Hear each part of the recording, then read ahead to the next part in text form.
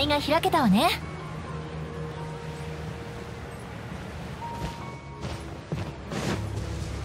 早く。それ。あれ？こんな告知板いつの間に置いてあったんだ？うんどれどれ？キノコンが書いてあるぞ。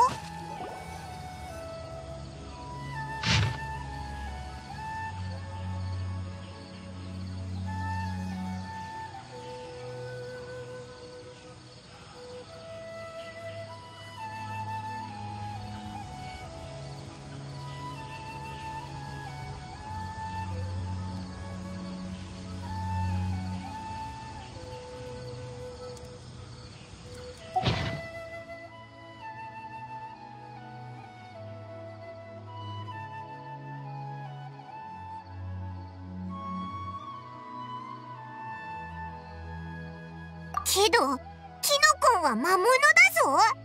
どう考えても危なすぎるだろう。とりあえず会場に行こうぜ。もし本当に危険があってもそばにさえいれば取り返しがつかなくなる前に止められるはずだ。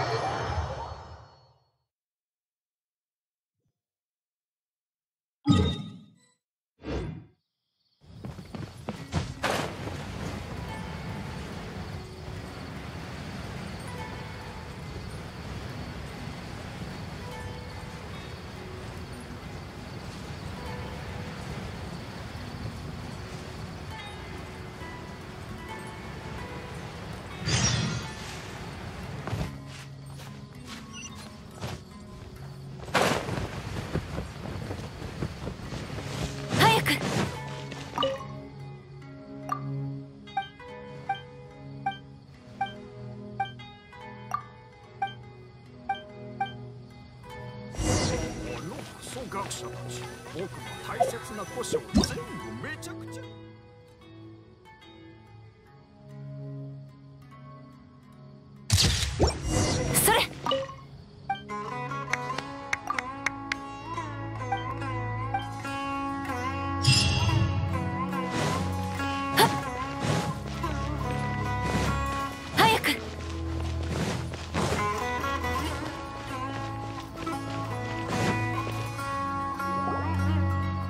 場の各参加者の皆様サウマラタハスパイテイマー大会へようこそ。私は大会の責任者正論派ベテラン学者のカウトリアです。皆さんはキノコンに指示を出して戦うというコンセプトに興味があるか豪華な報酬を楽しみにお集まりくださったことでしょう。がしかしバトルの安全面に不安を抱える方も多いのではないでしょうか。そちらに関しては私が断言いたします。今回の大会のために正論派最先端の理性増加技術を用いた英知宝珠を用意しましたので心配ご無用です。気兼ねなさらずどうぞふるってご参加くだされ。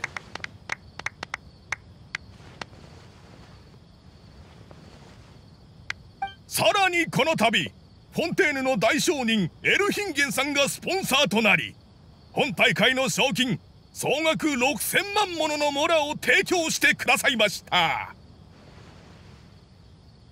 さらに決勝戦の後に行われる最終テストに通過しエルヒンゲンさんの理念を貫く能力を持っていることを証明できた方にはなんとエルヒンゲンさんの全財産が与えられますぞ!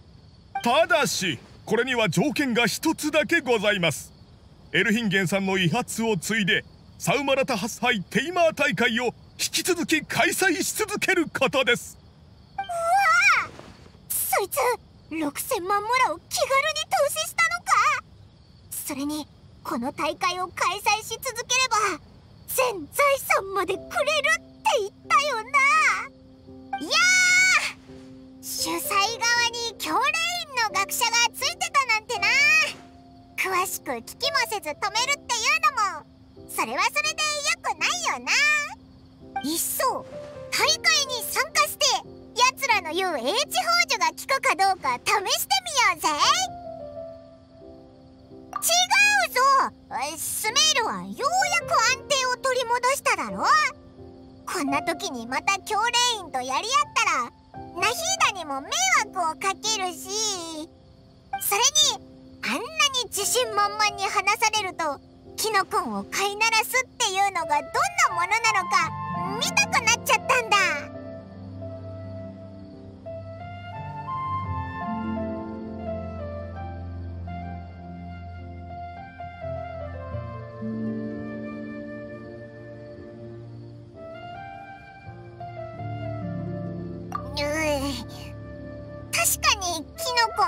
く面倒事を起こしてくれるけど悪質なものでもないだろ？うん。どっちかっていうと気性の荒い野生動物って感じだぞ。安全面も保証してくれたんだしそんなに恐れる必要もないだろ？それにキノコンと友達になるなんて絶対面白いに決まってる！いい成績を取ればちょっとした小遣い稼ぎにもなって一石二鳥だぜ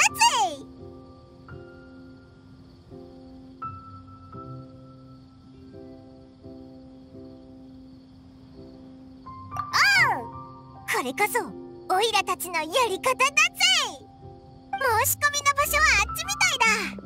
早く英知宝珠をもら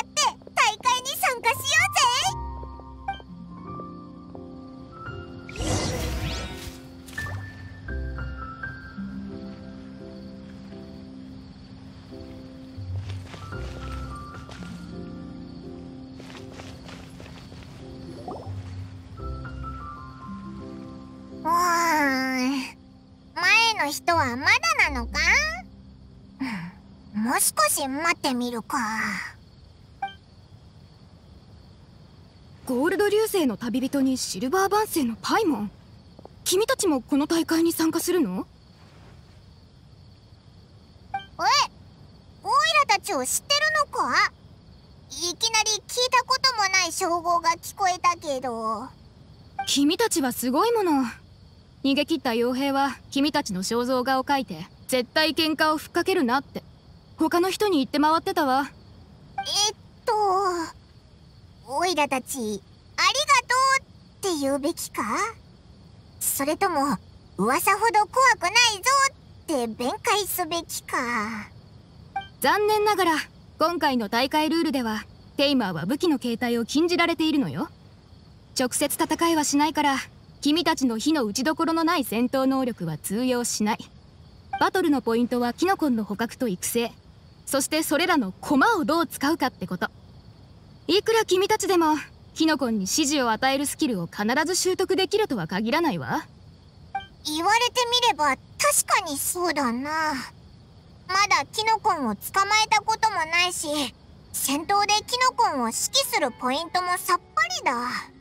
って待てよ。お前スタッフには見えないけどどうして自信満々で説教してるんだよ。何者だ私はハニヤずっとエルマイト旅団で凶暴な打獣を飼いならす仕事をやってきたわ。以前からテイマーと呼ばれてたおかげで H 宝珠の初期テストに参加できたの。でも私のような字も読めない粗骨者は傭兵たちの雑用をするくらいしかできない。名乗ったって意味もないから普通の出場選手として扱ってちょうだい。まあ獣を手なずけることに関しては色々と心得があるけどね。私の指導を受けたい？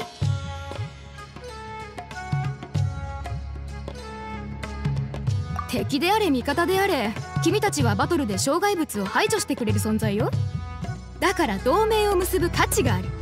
もちろん私たちの関係は後者であってほしいわ。ストレートだな。まあ誠意は感じるぞ。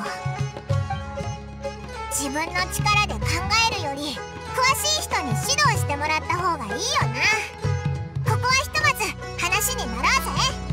それじゃあこの H 宝珠を受け取ってちょうだい。早速主催側の指定したエリアに行ってキノコンを捕まえましょう。本当に行動力のあるやつだな。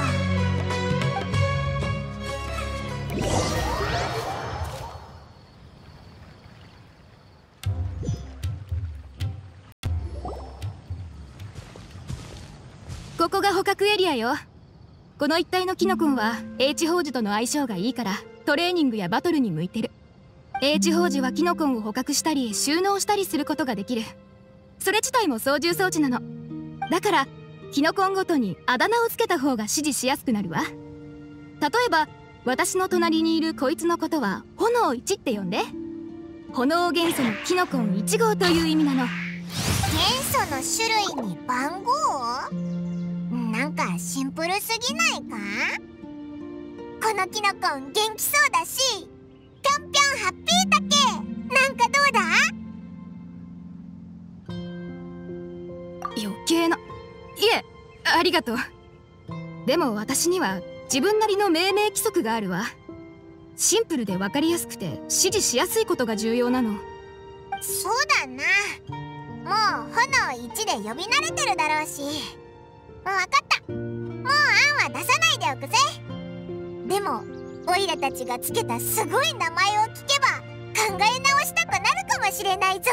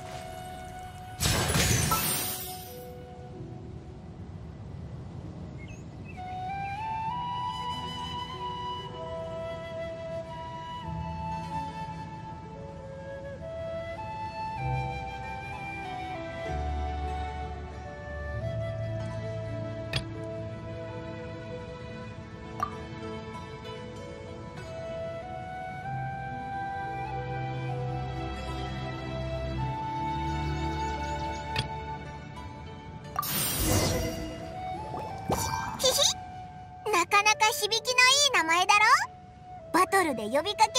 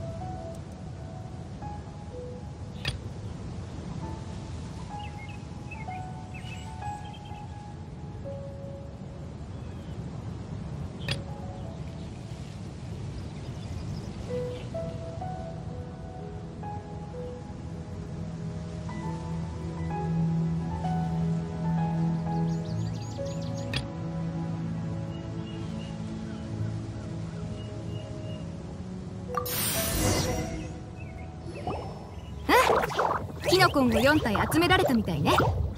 次は主催の提供してくれたフラワーゼリーを使ってキノコンたちの潜在力を覚醒させてみましょう。バトルで強力な技を繰り出せるようになるわ。思ったより順調だな。ありがとなハニヤ。それじゃオイラたちは会場に戻ろうぜ。あれ？見ろ。うろうろしてる人がいるぞ。キノコンが一体周りを回ってる。もしかして襲われてるのか？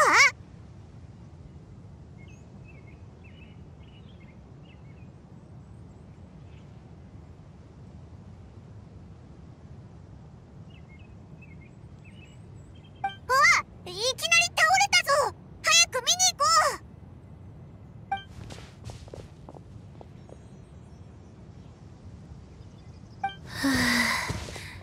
う。力が入らない。一歩も動けない。おい大丈夫か？怪我したのか？行け炎1待って。この子は敵じゃない。私の仲間なの。私はただ疲れて歩けないだけで参戦資格をゲットするにはキノコの仲間をあと3体探さないとま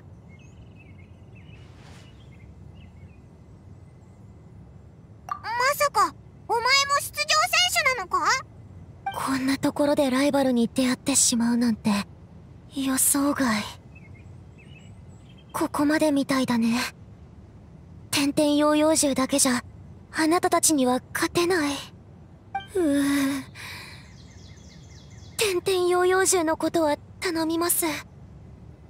必ずいい成績を取ってあげて。おいおい自暴自棄になるなよオイラたち道を阻むエルマイト旅団じゃあるまいし。お前のキノコいやキノコの仲間を奪うなんて卑怯なことしないぞ。決着をつけたいって言うならバトルで正々堂々と勝負しろ。オイラたちの隣にいるハニヤってテイマーなんかオイラたちが手強い相手になるかもしれないって分かっててそれなのにたくさんのことを教えてくれたんだ。ぜそれ褒めてるの？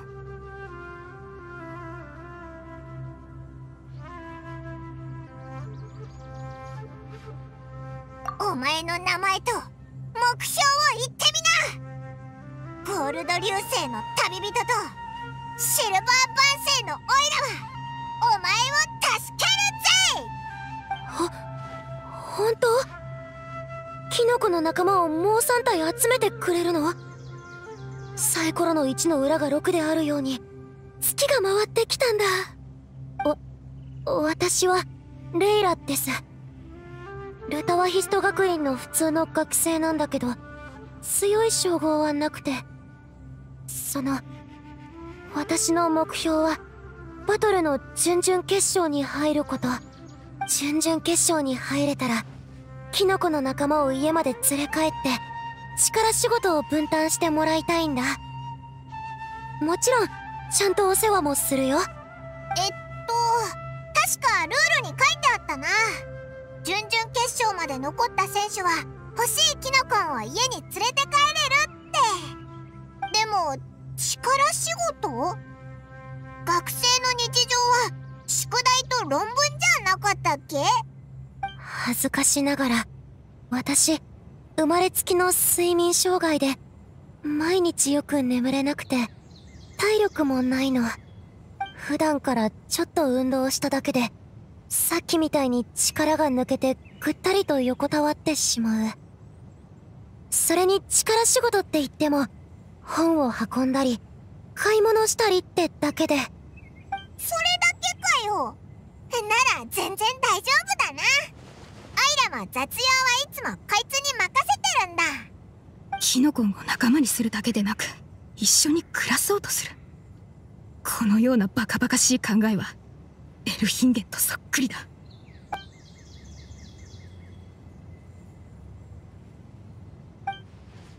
コツをすぐ掴んだ上に人の役に立てる余力すら残っているだなんておめでたいことね。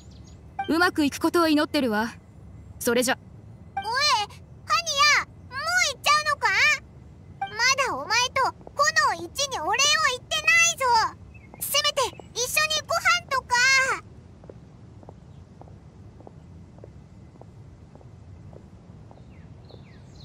大丈夫そのテイマーさん。怒っちゃった。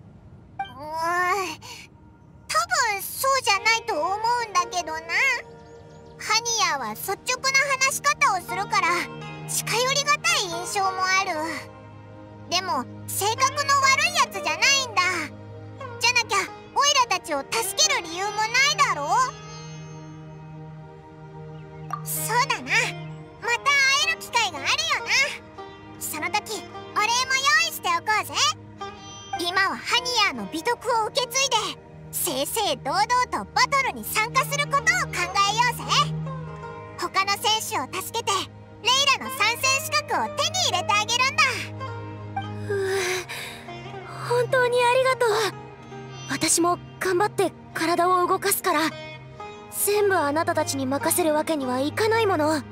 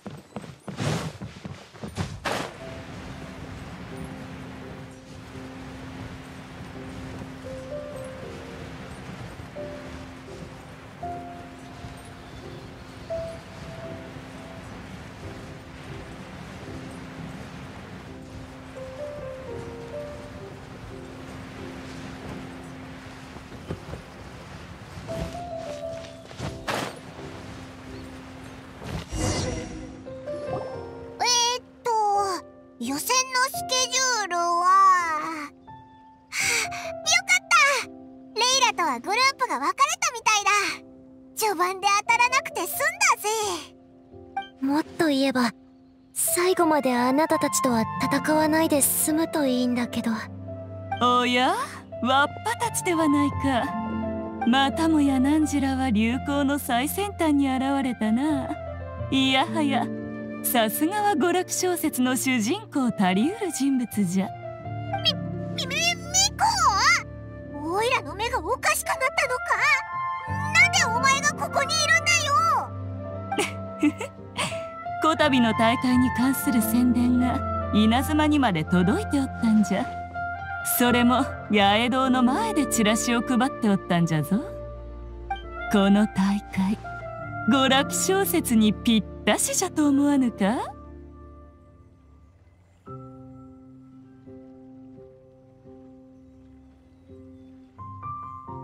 八重堂は今次の50年を風靡する傑作を作る計画をしておる。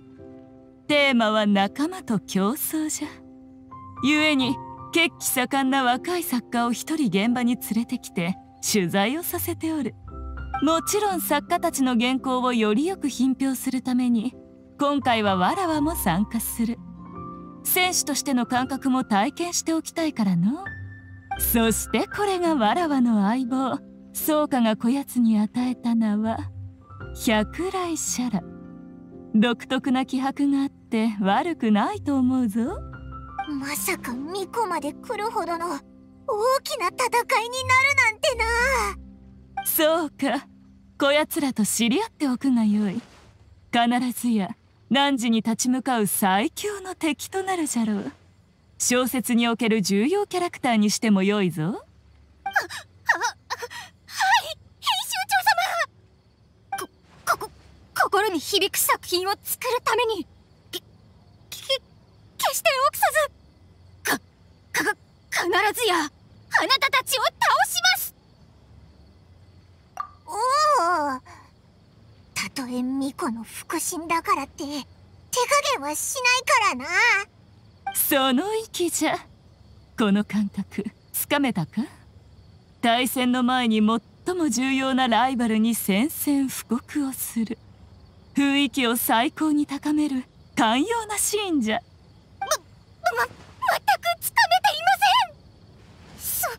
そその将軍様と花見坂を見て回った親友の方と対抗するって考えたらすすすすごく緊張してしまい。ならばまずは急ぎ宿屋に戻るがよい。今抱いているその緊張感を記録するんじゃ。これも良き素材になる。この人すごく怖い。でもとてもすごそうお友達になってみたいな。そちらの物静かな友はどちら様じゃ？こいつはキノコンを捕まえる途中で出会った。新しい仲間のレイラだ。レイラは訓練されたキノコンを家に連れ帰って一緒に暮らしたいんだってさ。そのためにこのバトルに参加して準々決勝まで行くのが目標らしいぞ。キノコンを訓練して日常生活のお供にする。面白い。汝にはいろいろと秘密がありそうじゃな。発掘していけば非日常的な物語が作れそうじゃ。わらわは八重美子。趣味で娯楽小説の編集者をしているんじゃが汝に少し興味を持っておる。よろしく頼む。なんて答えたらいいか全くわからない。そうだ。二人とも。この間は本当にありがとう。予選の準備のためにも。この4体のキノコの仲間のことをちゃんと知っておきたいの。トレーニングに行ってくるね。ペース配分に気をつけろよレイラ前みたいに疲れてへばっちゃダメだぞ。おーんミコのオーラにびっくりしちゃったみたいだな。む？わらわはそんなに怖いのか？だとしたらもっとあの娘っ子と交流して誤解を解かねばならぬの。さてわっぱのその目。まだ何かわらわに言いたいことがあるようじゃな。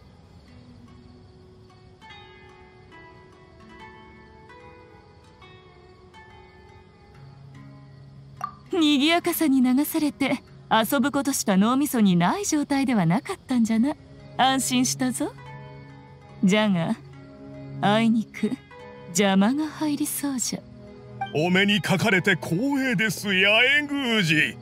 まさかスメールにいらっしゃって早々本大会の会場に足をお運びいただけるとは。ん？大会の責任者が？超お金持ちの大商人がなんでここに？ふむどうやら大会は順調に進んでいるようじゃなでなければランジラのようなお偉方が2人揃って一般出場者に構う暇などないじゃろう？またまたそのような。八重宮司あなた様のように高貴なお方はスメール一流の礼儀でおもてなしさせていただきますとも。すでに英知宝珠をお試しになられたようですなこの技術の将来性をどう思われましたか？あなた様さえうなずいてくださればこれを稲妻に輸出し一挙解決というところなのですが。ふむ今のわらわは一階の編集長に過ぎぬ。こたびここへ来たのは休暇を兼ねた取材のためじゃ。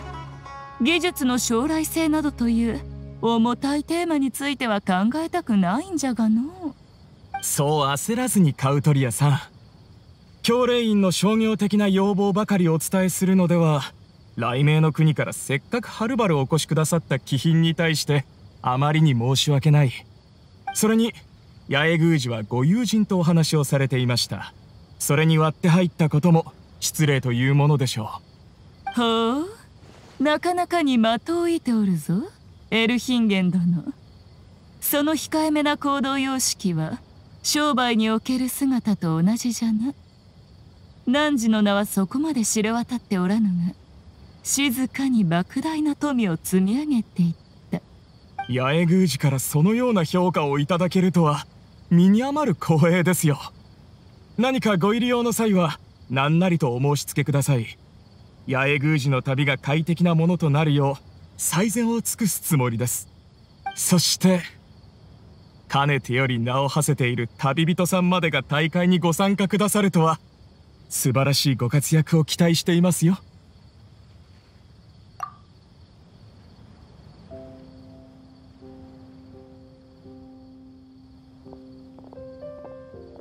ミコあいつらはお前と仕事の話をしに来たんだろ？こんな無下にしちゃって本当にいいのか？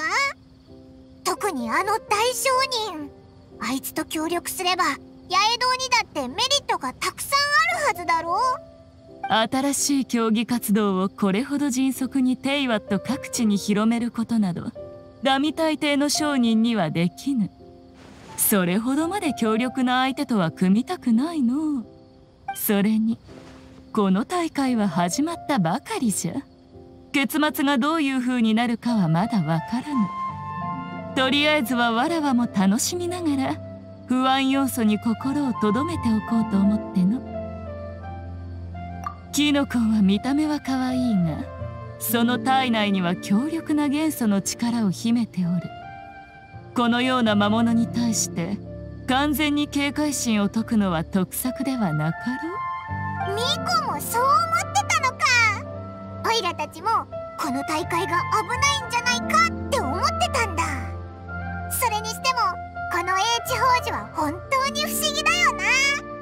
これに影響されたキノコンはみんなポコポコビーニーみたいにすごくおとなしくなるんだ。だからオイラたちもずっと気を張る必要はなくなったんだけどさ。パイモンは相変わらずのんきで元気いっぱいじゃなわらわもそろそろ自分の役をこなさんといかんの。大会の出場者として事前準備をしに行くとしよう。それではまた予選でな。ほれ百来シャラ二人にお別れの挨拶をするんじゃ。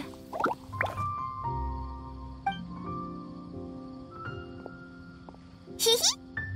今回は来てよかったな。新しい友達と知り合えたしミコにも会えた。大会もきっと面白くなるぞ。よし。じゃあハニヤーのアドバイス通りフラワーゼリーを受け取ってポコポコビーニーを育てようぜえい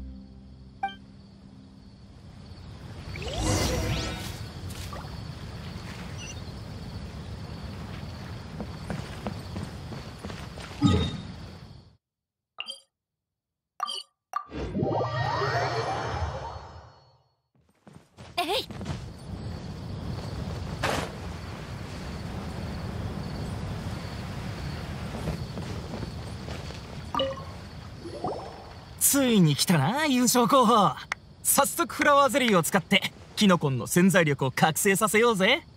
優勝候補？いい響きだな。お前もオイラたちのことを知ってるのか？もちろん。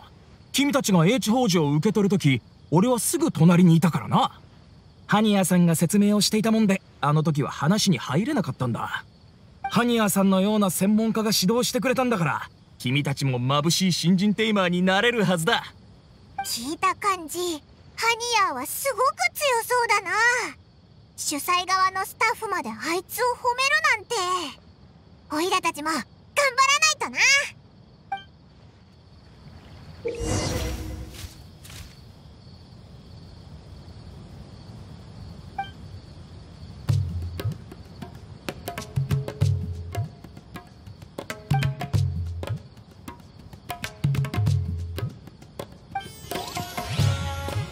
私とセピロス剣術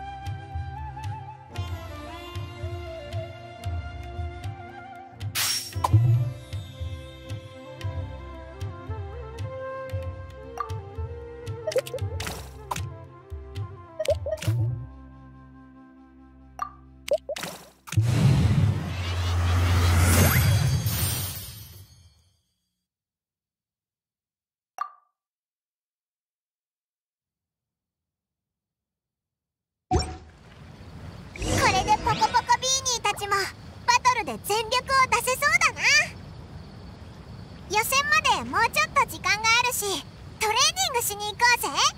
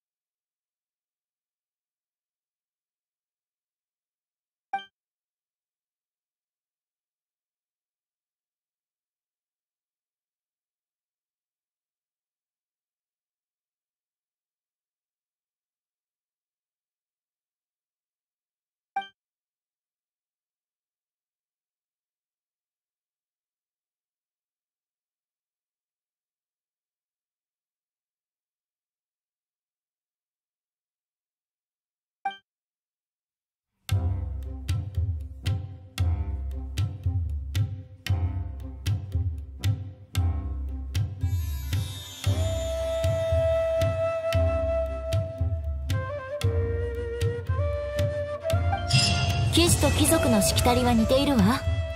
ただ騎士は小難しいところが簡略化されているの。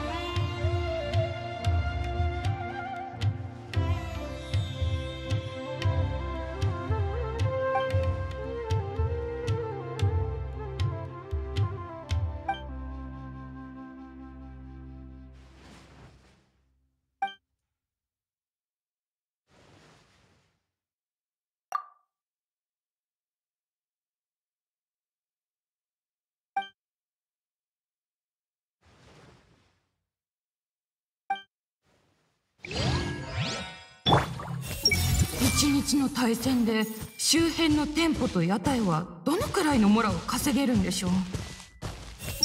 キノコンたちの動きを相手が反応で